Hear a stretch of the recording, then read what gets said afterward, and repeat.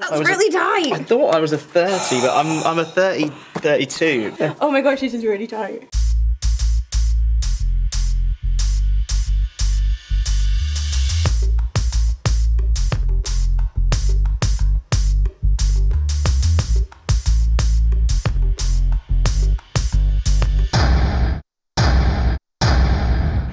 God. Okay, Okay. grand. Do you want to go first or? Yeah. Okay. Or- Right. Well. Yeah, I mean, You do me. Just do it. Just do it. all right. Right. I'm gonna start doing you. Right. It was awkward. So we was just in silence and he was undressing me. And then I was like, well, I've got to do something. So I started to take his shirt off as well. This is awkward. Make sure no one gets in, that's what it is. you just want to strip me, don't you? I do. this is actually quite fun.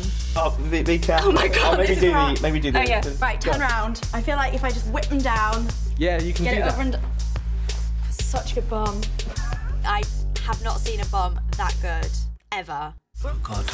Yeah, God. Just want to get the trousers down, nothing else. I'm not keeping socks on. No, no, no, don't keep socks on. Sorry. on. Uh, Sorry. Sounds keen. I thought maybe he should have had different boxer shorts on.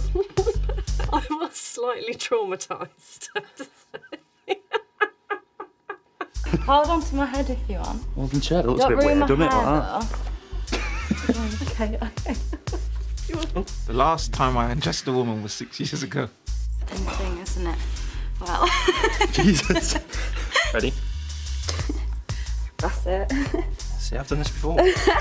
Uh, when Sasha undressed, I mean, there's not really much not to like, was there? She had massive boobs. To tell you. All off. We're undressed. Let's go. Let's go.